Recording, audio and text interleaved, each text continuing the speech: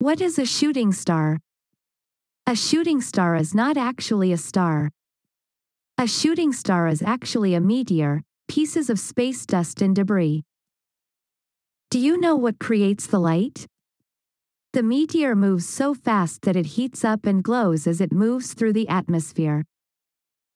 And what determines the color of the light?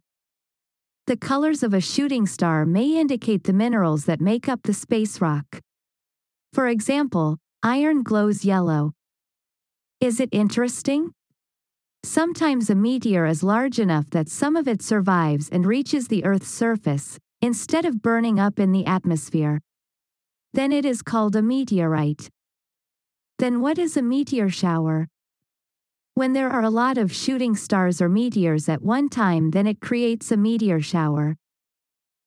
Do you know what a fireball is? Some large meteors splatter, causing a brighter flash called a fireball, which can be seen during the day and heard up to 48 kilometers away. So what did you learn? Let's take a quiz. Question 1. What is a shooting star? The answer is B. A shooting star is a meteor.